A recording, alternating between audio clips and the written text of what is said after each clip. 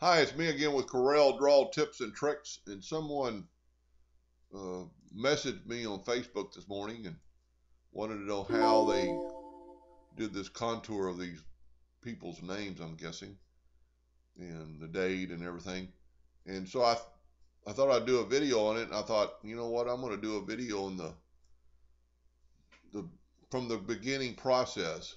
I don't know what size the ornament needs to be, but I'm going to make it four inches so I made my inner circle three and a half inches. I'm going to move it out of the way. I've got my nudge factor set on five inches, so it moves it out of the way. I'm going to bring in the circle, which is going to be the top, and you can kind of see it's going to say quadrant. That means it's right in the center. Take these two items and weld them together. Then you can bring in a small circle for the pin. Put P on your keyboard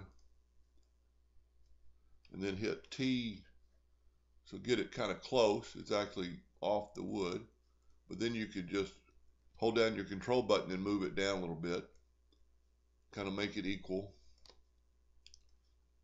Then you can bring your inner circle back in with the nudge factor. So you've got that part done.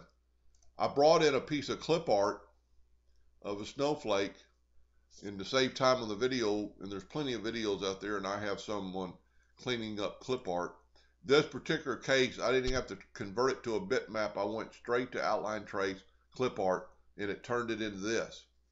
Now, as you can see, I have a white background.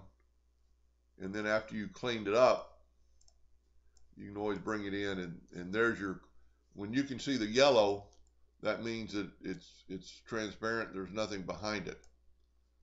So I'm going to stop the video right here and start on part two of installing that name. Hope that helped a little bit and thank you for watching.